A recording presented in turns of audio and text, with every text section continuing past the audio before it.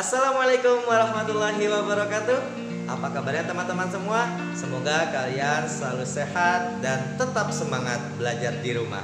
Oke, hari ini kita akan belajar nilai-nilai pengamalan Pancasila Yang sesuai dengan sikap di rumah, di sekolah, dan juga di masyarakat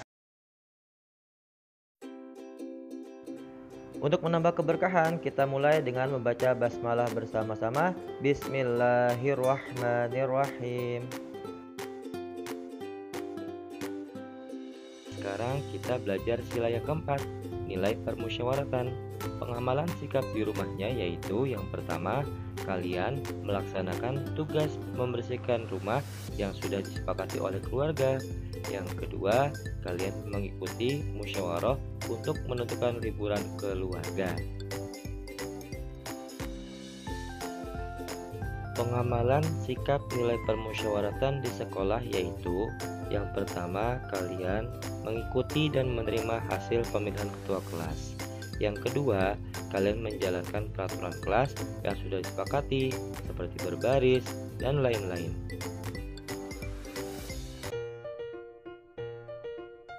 Pengamalan sikap nilai permusyawaratan di masyarakat yaitu mengikuti dan menerima hasil pemilihan ketua RT. Yang kedua, mematuhi peraturan lingkungan yang ada di masyarakat. Dan juga kalian bermain di taman dan mengikuti peraturan yang ada di taman tersebut.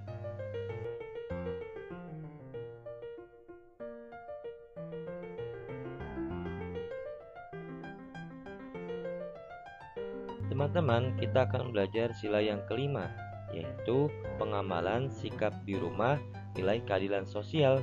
Yang pertama, bersikap adil ketika berbagi makanan dengan adik dan kakak ya. Yang kedua, ketika kalian meminta uang jajan sesuai dengan kebutuhan kalian dan rajin menabung. Pengamalan sikap nilai keadilan sosial di sekolah yaitu yang pertama, kalian bersikap adil ketika bermain bersama teman. Yang kedua, kalian saling berbagi kepada teman yang membutuhkan, seperti charity atau santunan anak yatim.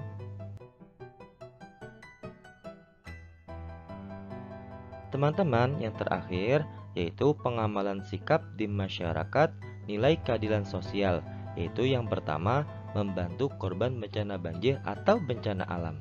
Alhamdulillah sekolah kita Darul Albidin yaitu pernah peduli banjir di Jakarta. Yang kedua, membantu membersihkan lingkungan atau kerja bakti. Nah, alhamdulillah itulah semua pengamalan nilai-nilai Pancasila dari sila yang ke-1 sampai sila yang kelima.